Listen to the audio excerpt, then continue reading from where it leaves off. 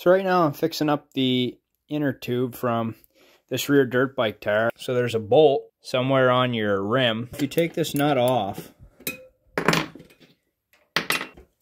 so there's what that looks like.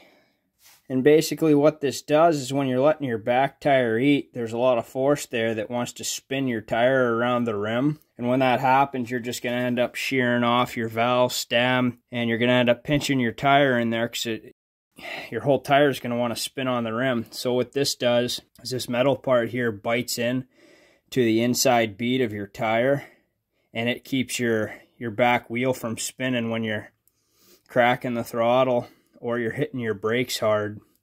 And then it has this protective rubber here just so that your tire doesn't pop. But somehow the edge of this, probably because the tire was flat from a different spot. Um, this just ended up digging into the tire and popping it.